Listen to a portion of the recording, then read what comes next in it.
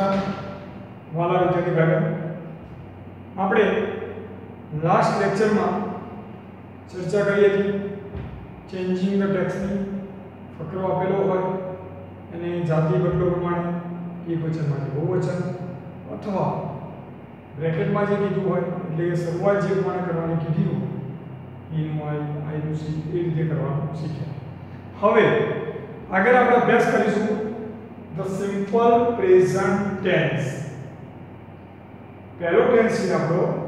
The simple present tense હવે અહીંયા ખાસ એક માહિતી મેળવી લઈએ પહેલા કે આઠમા ધોરણ સુધી આપણે જે શીખ્યા એ who what where when which how many how much વગેરે પ્રશ્નો બનાવવાના.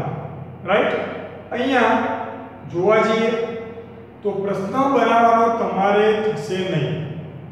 અહીંયા તમારે એનો ઉપયોગ કેવી રીતે કરવો? એ હવે જોવાનું છે. જે કાલ આપણે ફકરા જોયા, એમાં તમે જોયું હતું કે હી ગેટ્સ અપમાંથી આઈ ગેટ અપ કર્યું હતું. તો એવી રીતે નિયમો ઉપયોગ થશે.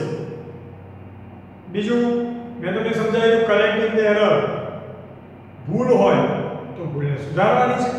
તો એ બધું જ માહિતી તમારે આમાં મેળવવાની છે. શીખવાની છે રચના. એ જ ગ્રામર એ જ જે આપણે આઠમા, સાતમા, છઠ્ઠામાં શીખીને આવ્યા છે પણ અહીંયા જે એક્ઝામમાં પૂછાય છે, એ થોડી અલગ રીતે પૂછાય છે. તો હવે એ સાદા વર્તમાનકાળની આપણે ચર્ચા કરીએ. તો સૌ પ્રથમ આપણે જાણવું જોઈએ કે સાદા વર્તમાન કાળનો ઉપયોગ ક્યારે સૌપ્રથમ આપણે શીખવાનું છે કે સાદા વર્તમાન કાળનો ઉપયોગ ક્યારે થાય છે? એની માહિતી આપણે લઈએ તો આપણે એવું કહી શકીએ કે રોજિંદી ક્રિયાઓ, એટલે કે દૈનિક ક્રિયાઓ હોય, એને દર્શાવવી હોય તો પછી કોઈ સનાતન સત્ય હોય, કોઈ વૈજ્ઞાનિક સત્ય હોય એને દર્શાવવું હોય તો કોઈ ટેવ કુટેવ હોય, એને દર્શાવવી હોય તો વગેરેમાં આપણે ધ સિમ્પલ પ્રેઝન્ટ ટેન્સ એટલે કે સાદા વર્તમાન કાળનો ઉપયોગ કરવાનો છે. તો હવે આપણે આઠમા દિવસે શીખી આવ્યા છીએ? કે સાદો વર્તમાન કાળ છે વાક્યમાં. એ ખબર કેવી રીતે પડશે? તો એના માટે શબ્દો પણ જોઈએ. શબ્દો નથી આપેલા અને વાક્ય આપેલું છે, તો વાક્ય કેવી રચનામાં છે, જેથી કરીને આપણને ખબર પડે સાદો વર્તમાનકાળ છે. એ આપણે જાણવું પડે. બરાબર છે? ચલો. હવે જોઈએ આપણે, તો એ રચના પહેલી જોઈએ. બરાબર? રચનામાં છે, કર્તા અને બે રચનાઓ છે. પહેલી અને બીજી જો કરતા આઈ વી યુ ધે હોય, તો એની સાથે ક્રિયાપદનો મૂળરૂપ આવે છે. અને જો કરતા હી, સી, ઇટ હોય, તો ક્રિયાપદને એસ કે ઈએસ પ્રત્યે લાગે આ બે સાથે વગરમાં તમે ફિટ કરી દો છો, તો ઘણું બધું કામ તમારું હળવું થઈ જશે. ફરી સમજી લેજો. પહેલો કરતો છે આઈ વી યુ ધે તો એની સાથે ક્રિયાપદનું મૂળરૂપ આવે છે. અને જો હી સી ઇટ જો કર્તા તરીકે હોય, તો ક્રિયાપદને એસ કે એસ પ્રત્યે લાગે છે. કયા કાળની વાત કરી આપણે? સાદા વર્તમાન કાળની. ખાસ ધ્યાન રાખજો, કારણ કે નવ કાળ ભેગા થશે, તો નવે નવ રચના અલગ અલગ હશે. પછી આપણે પહેલી શીખીએ, બીજી શીખીએ, પહેલી પૂછીએ એવું ન થાય. એના માટે રચના ખાસ તૈયાર કરી દેવાની છે. ફરી જોઈ લેજો. જો કરતા તરીકે આઈ વી, યુ, ધે હોય, તો ક્રિયાપદનું રૂપ આવે છે. અને હી સી ઇટ હોય તો ક્રિયાપદને એસ કે ઈએસ પ્રત્યય આપણે લગાડીએ છીએ. હવે આગળ વધીએ. તો એના માટે એક્ઝામ્પલ જોઈએ. બરાબર I play cricket every day બીજું છે સી buys vegetables ત્રીજું એક્ઝામ્પલ લઈએ the sun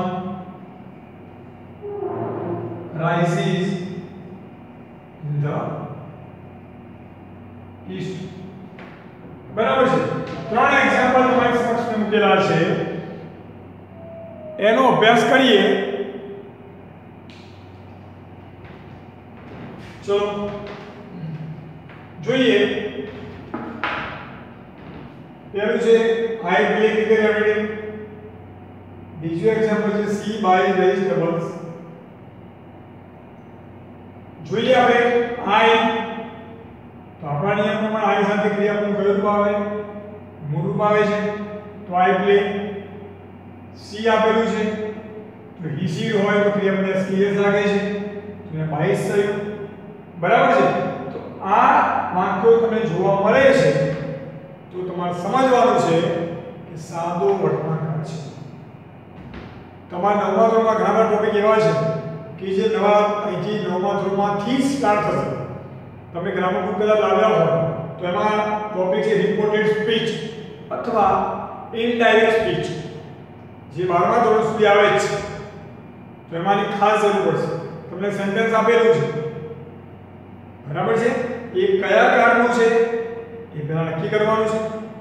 ત્યાર પછી એનો જરૂરી ફેરફાર કરવાનો છે.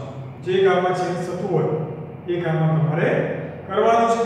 તો અહીંયા જોઈ લો ફરીથી કે આપણી આવી રચના હોય તો તમારે સમજવાનું છે કે સાદો વર્તમાનકાળ છે.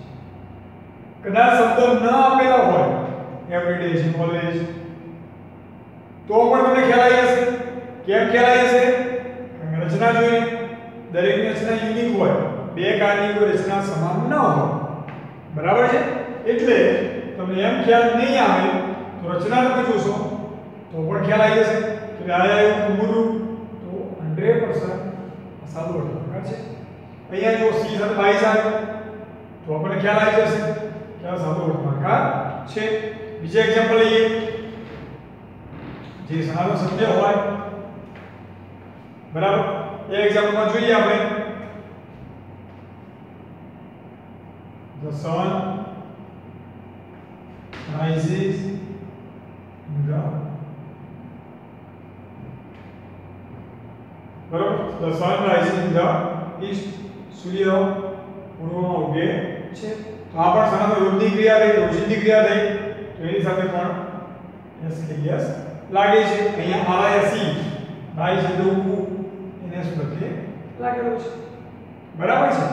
હવે તમને એક કન્ફ્યુઝન થાય કે અમારે જો કદાચ કાલ વાત થઈ કે ભૂલ સુધારવાની પૂછાય અને આવી જો સ્પેલિંગ મિસ્ટેક હોય તો અમને કેવી રીતે ખબર પડશે એસ લાગશે કે એસ? એ પણ પ્રશ્ન ઊભો થશે. એની થોડી નિયમની માહિતી મેળવી લઈએ આપણે.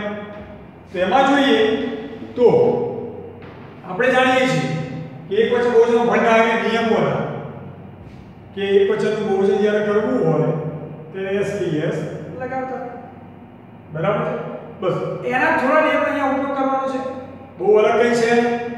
પણ ફેર એટલો કે એમાં આપણે શબ્દ અથવા નામ આપેલું હતું. અને આમાં તમને ક્રિયા બનાવવાનું છે ફરી સમજી લેજો. અહીંયા તમને ક્રિયાપદ આપેલું હશે.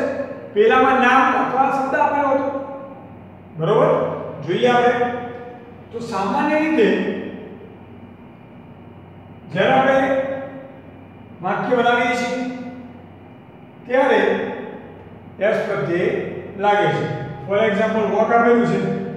તો આપણે કહીશું વોક્સ ટોક આપેલું છે, તો ક્રિયાવચન આપણે કહીશું ટોક્સ વગેરે એટલે કે સામાન્ય રીતે કયો પ્રત્યે લાગે છે એસ પ્રત્યે લાગે છે. અને બીજી વાત ખાસ ધ્યાન રાખજો કે આ જે હું નિયમો કહું છું, એ કઈ કન્ડિશનમાં કીધા છે મેં જો કર્તા તરીકે હી સી ઈટ આપેલું હોય તો અને તો જ આ લાગશે. બાકી જો આઈડીયુ કે હોય, તો તો ક્રિયાપદ પૂરું છે. એમાં કોઈ ચેન્જિંગ થાય ખ્યાલ આવે છે? આ જે નિયમો છે, એ તમારે કરતા ફિક્સ છે. હી સી અને ઈટ હોય, તો નિયમો લાગશે બરાબર? ચલો. નિયમ નંબર બે. તો યાદ કરો ક્વેશ્ચનમાં સ્કવેર નિયમ હતો. S double S S H C H O X જો હોય તો આપણે પાછા શું લગાવતા હતા ઈ એસ લગાવતા હતા બરાબર એસ હોય double S S H C H O X હોય તો આપણે શું પાછળ લગાવતા હતા ઈ એસ લગાવતા હતા. પણ એ સમયે ખાસ ધ્યાન રાખજો તમને શું આપેલું હતું? શબ્દ જણાવવામાં આવેલું અહીંયા આપણે ક્રિયાવત છે. કેચ. બરાબર છે? હવે કેચ આપેલું છે. શું આપેલું છે તમને? સી એચ તો સી એચ હોય તો નિયમમાં આવે છે. ત્યાર પછી ગો લઈએ. ઓ આવે છે. આવા સંજોગોમાં તમારે અચ્છા શું લગાવી દેવાનું છે. એસ લગાવી દેવાનું છે. બરાબર છે? આવી જો શબ્દો આપેલા હોય તો યસ લાગશે. કન્ડિશન તો આ જ કે જો કરતા તરીકે હી, સી, ઈટ હોય તો અને તો જ લેવાનું છે. બરોબર છે? બે નિયમની વાત કરી પહેલો નિયમ સામાન્ય સામાન્ય યસ પ્રત્યે લાગે અહીંયા યસ લાગશે નંબર 3 ની વાત કરીએ આપણે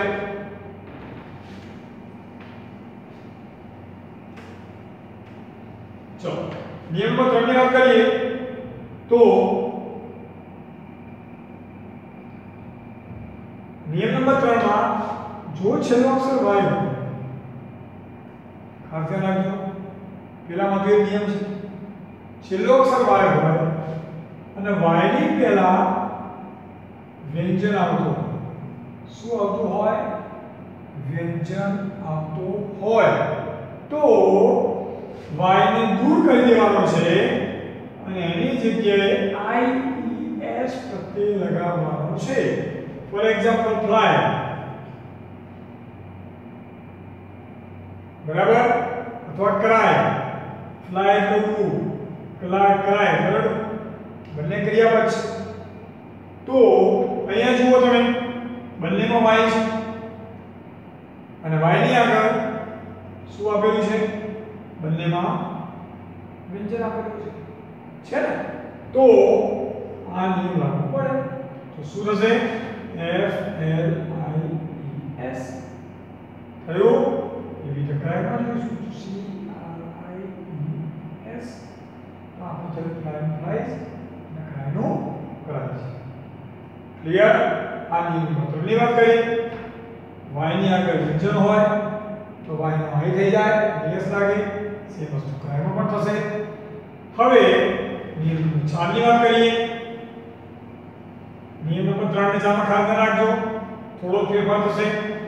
નિયમ નંબર 4 છેલ્લો y હોય, પણ y ની આગળ સ્વર આવતો હોય. જો y હોય? અને y ની આગળ શું આપેલું હોય? સ્વર આપેલો હોય. તો s લગાવવાનું કેવી રીતે? Buy play જુઓ, છેલ્લો y છે. y ની આગળ સ્વર છે. તો y નો પાછળ સીધું શું લગાવી દેવાનું? બીજો કોઈ ફેરફાર આપણે કરવાનો નથી બરાબર છે આ થયા આપણા એસટીએસ ના નિયમ તમે જોયું હશે ખરું પણ કદાચ તમને નિયમનો ખ્યાલ ન હોય તો ખાસ ધ્યાન રાખવાનું છે કે આ ચાર નિયમો સાથે જો કર્તા હી તરીકે હોય તો આ નિયમો લાગે અને જો ભૂલ સુધારવાની હોય કે ખાલી કહેવાય જે પણ છે એ તમારે બોલવાનું થશે બરાબર છે હવે આગળ વાત કરીએ આપણે સમયદર્શક શબ્દોની. તો તમે જાણો છો કે જો રચના આપેલી હોય તો તો કોઈ પ્રશ્ન છે પણ તમને ધારો કે રચના આપેલી નથી અને શબ્દ આપેલા છે, તો આપણે જાણીએ છીએ કે એવરીડે હોય. પછી always often generally usually sometimes વગેરે શબ્દો everyday always often generally usually sometimes વગેરે શબ્દો સાદો વર્તમાનકાળ સૂચવે છે તમને મેં વાત કરી કાર્યક્રમ તૈયાર એટલે એડિટિંગ એમાં કદાચ પાછળ વાક્યના અંતે આવા કોઈ શબ્દો આપ્યા હોય, બરોબર છે? અને તમને અંડરલાઈન કરી છે, દાખલા તરીકે આપણે સમજીએ કેવી રીતે, તો તમને અહીંયા એવું આપેલું છે કે he went to Surat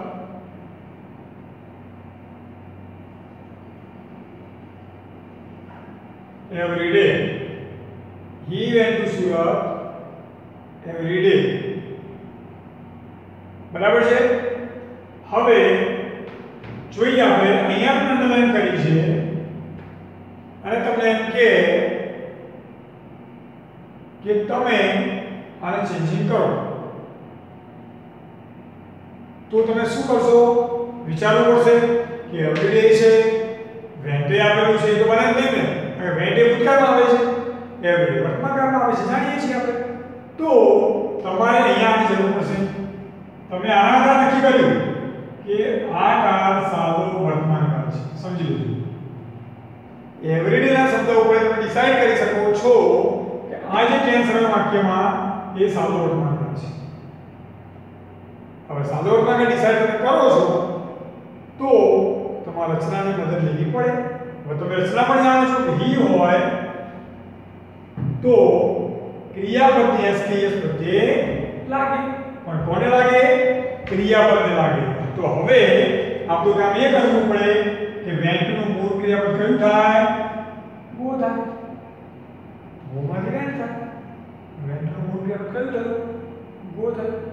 તો ગો મૂક્યા પછી ગોને પાસે યસ લગાવવું પડે.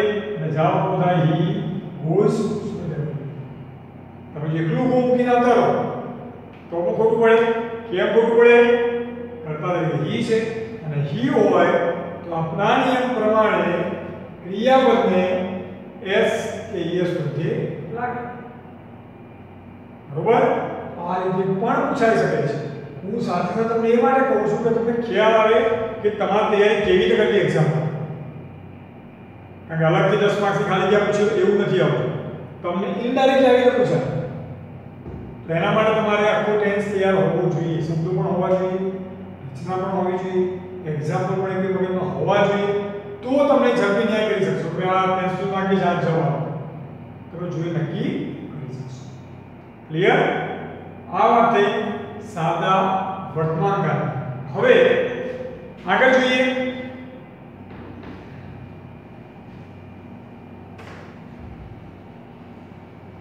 સાદા વર્તમાનકાળમાં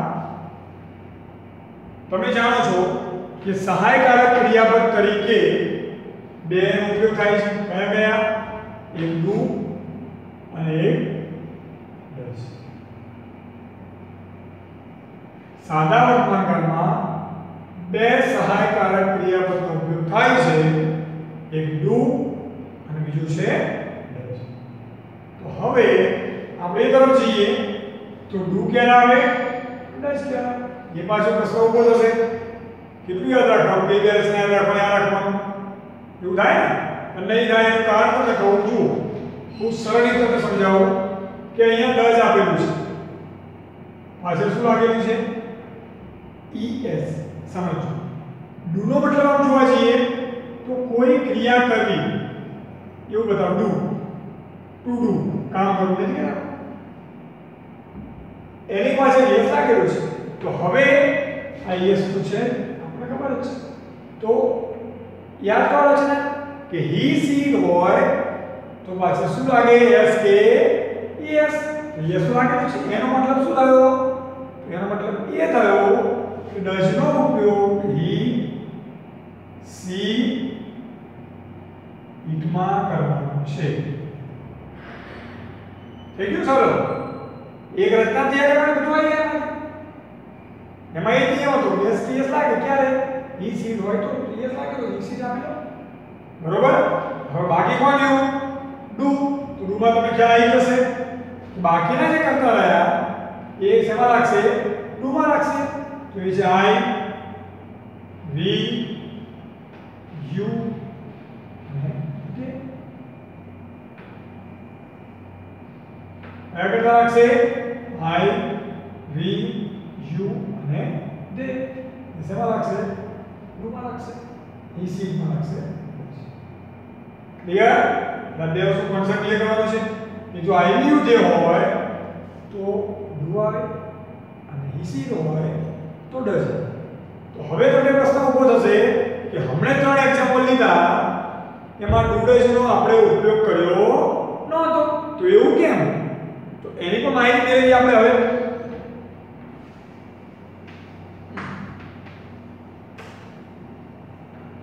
આપણે એ વાક્યોમાં નૂડલ્સનો ઉપયોગ કર્યો નહોતો કારણ કે નૂડલ્સનો નિયમ એવો છે કે જો વાક્ય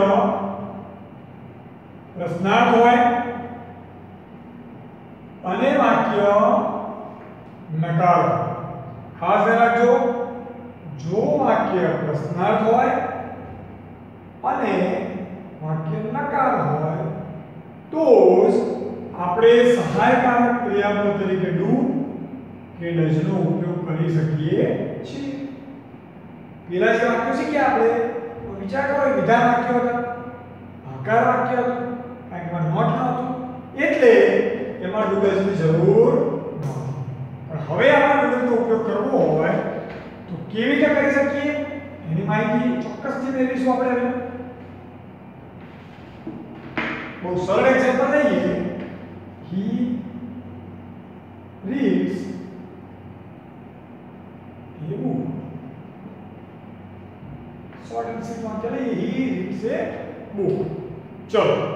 હવે આમાં આપણે જોઈએ તો વાક્ય કેવું છે? હકાર અને વિધાન.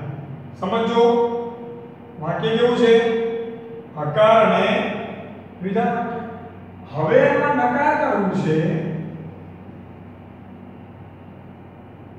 તો મારે વાક્યમાં શું મૂકવું પડશે નોટ મૂકવું પડશે હવે નોટ મૂકીશું તો આપણા નિયમ પ્રમાણે ડુ અથવા ડઝ મૂકવું પડે બરોબર ચલો હવે he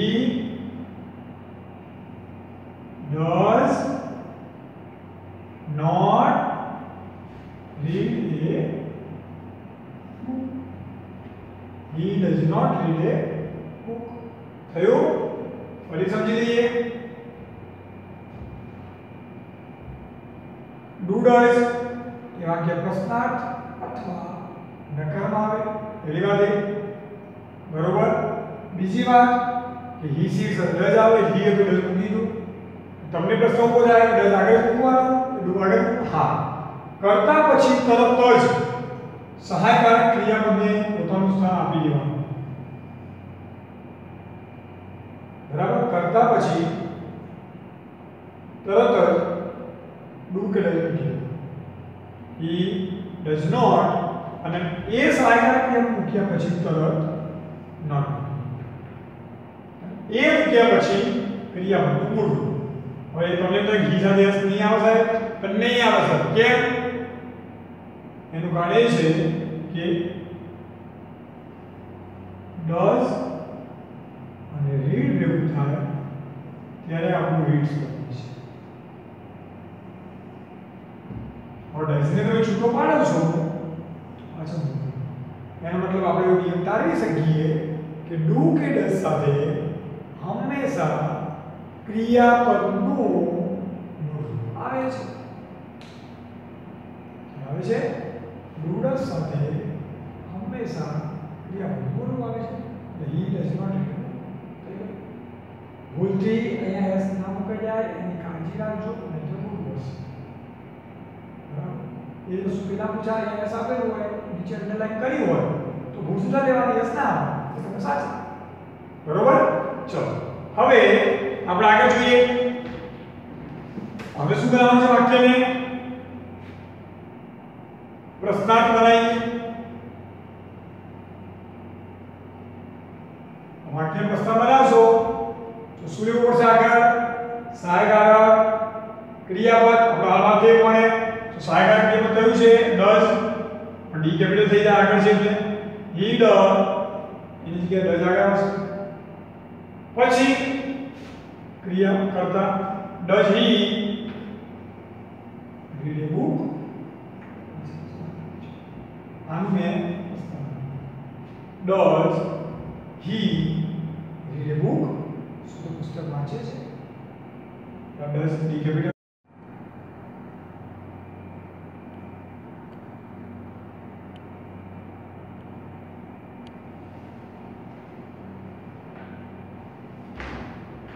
આગળ જોઈએ આપણે અહીંયા તમે એક ક્વેશ્ચન કર્યું ડઝ આગળ આવ્યું ડી કેપિટલ ડઝ ઇન લેવું પાછળ ક્વેશ્ચન માર્ક હવે જો મારે આનો ટૂંકમાં ઉત્તર આપવો છે યસ નથી તો શું કહીશ?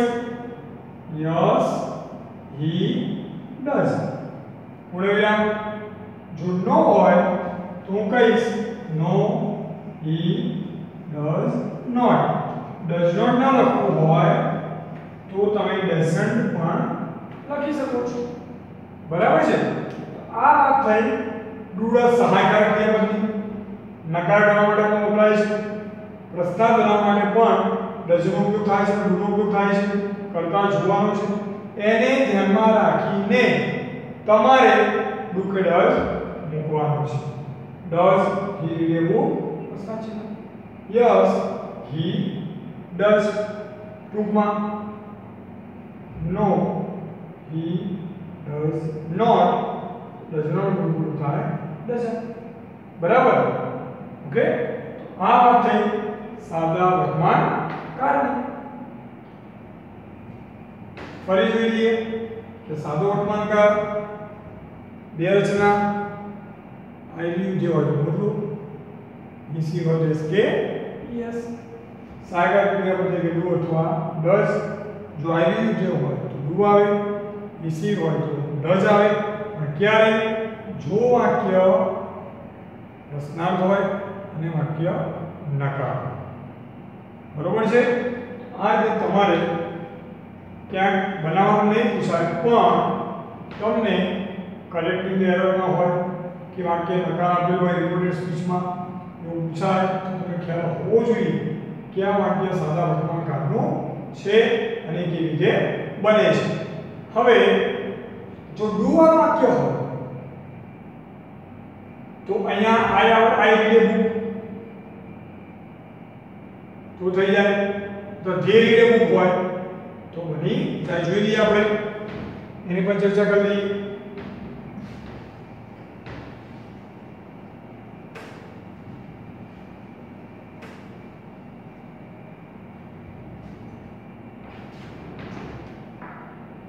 જોઈએ આપણે તે રીડ એ બુક જે સાથે પૂરું પાઈ ગયું સાદો વર્તમાન કાળ નક્કી થઈ ગયો ચલો હવામાં નકાર બનાવવું છે વિધાનમાં નકાર હું શું કરીશ they do not read they read books they do not read books. થઈ ગયું ફરી જોઈ લીધું they read books તેઓ પુસ્તકો વાંચે છે they જે સાથે ડુ આવે they do not read books. પેલો નિયમ તો છે જ કયો ડુડર સાથે ક્રિયાપદનું પૂરું બરાબર? ચાલો. પછી પ્રસ્તાવ બનાવવું હોય. શું બનશે? ડુ આવશે do. They read books do આગળ આવશે ડુ દે રીડ બુક્સ શું તેઓ પુસ્તકો વાંચે છે યસ